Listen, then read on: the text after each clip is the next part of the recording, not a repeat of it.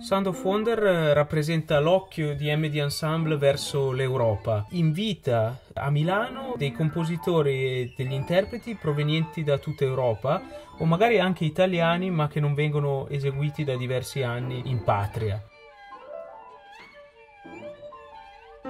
Prisposé è un eh, grande nome della musica contemporanea ed è una figura a tutto tondo perché non è solo compositore ma è strumentista, clavicembalista, docente ed addirittura direttore artistico dell'ensemble Contrechamp di Ginevra. Eh, I pezzi che abbiamo proposto eh, in questa prima serata sono tutti stati eseguiti per la prima volta in Italia.